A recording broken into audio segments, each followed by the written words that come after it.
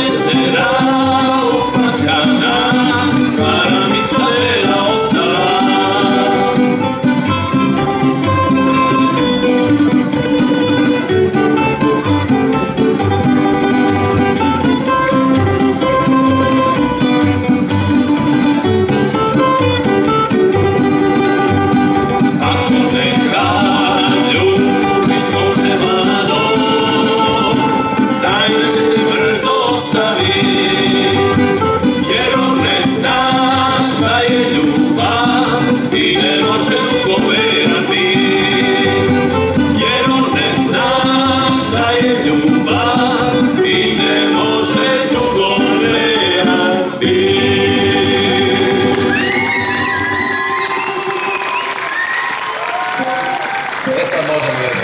Nazdravno,